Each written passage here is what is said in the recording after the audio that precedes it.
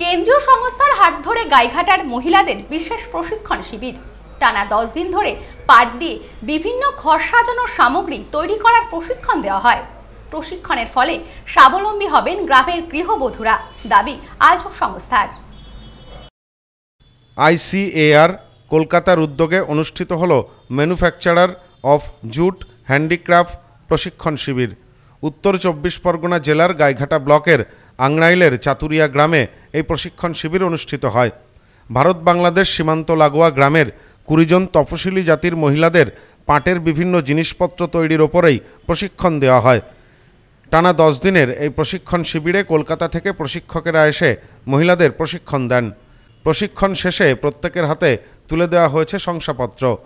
আগামী দিনে এই সমস্ত প্রশিক্ষণপ্রাপ্ত মহিলারা কলকাতার যে কোনো সরকারি মেলায় অংশগ্রহণ করে তাদের নিজেদের হাতে তৈরি জিনিস বিক্রি করতে পারবেন।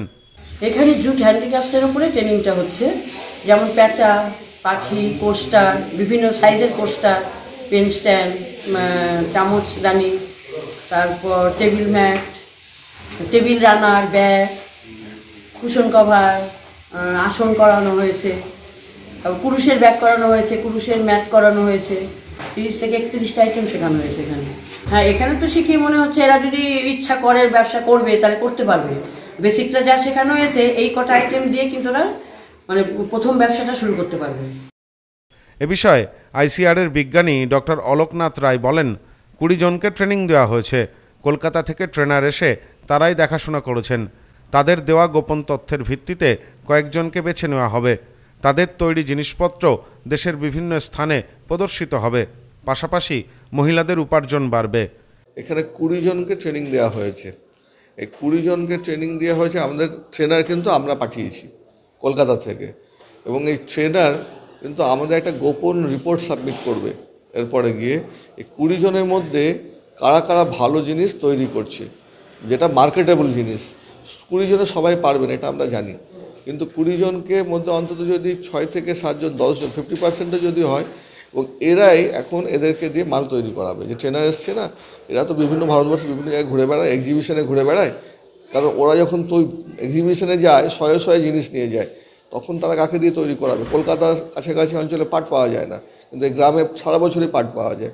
এরা পাটের জিনিস তৈরি করলে এদের কাছ থেকে কিনে নিয়ে গিয়ে সেগুলো মার্কেটিং করা যাবে। এছাড়া আমরা মার্কেটিংয়ে কিছু কিছু সাহায্য করি। পরবর্তীকালে আরও কিছু ট্রেনিং দেওয়ার পরে এদেরকে আমরা মার্কেটিং সাপোর্ট করব। এতদিন পর্যন্ত গ্রামের মহিলারা অন্যের জমিতে কাজ করে অথবা বিড়ি বেঁধে সংসার চালাতেন। এই প্রশিক্ষণের ফলে বাড়িতে বসে পাট থেকে ঘর সাজানোর সামগ্রী তৈরি করে এবার থেকে তারা উপার্জন করতে পারবেন। এ বিষয়ে গৃহবধূ চঞ্চলা আচার্য বলেন, আমরা ঘর গৃহস্থালির কাজ করতাম। এই প্রশিক্ষণের ফলে আমাদের আয়ের একটি পথ সুগম হলো। এই প্রশিক্ষণটা নেওয়ার আগে আমরা ঘরে গৃহকাজই করতাম রান্না বান্না সংসারের কাজ। কিন্তু এই প্রশিক্ষণটা পাওয়ার পরে এখন আমাদের মনে হচ্ছে যে আমরা যদি এর থেকে কিছু উপার্জন করি, যে দিদি যত যত সহকারে আমাদের কাজটা শিখিয়েছে, আমরা খুব সহজেই কাজটা করতে পারব। এবং এই কাজের জন্য যে আমরা মনে করি যে আমরা দিনে নিজে মানে সংসারের কাজ সেরে ওভার টাইমে কাজ করব আমরা দিনে দেড়শো দুশো টাকাও আয় করতে পারি আমাদের ভরসা আমাদের আশা। প্যাঁচা বানানো শিখিয়েছে কচ্ছপ পেতনানি তারপরে টেবিল ক্লথ ফ্রিজ কভার ঝাড়বাতি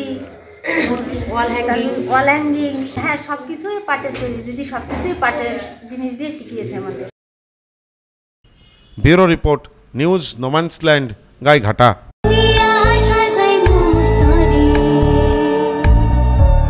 সৌন্দর্য শাড়িতেই সঙ্গে রয়েছে আদি মোহিনী মোহন কাঞ্জিলা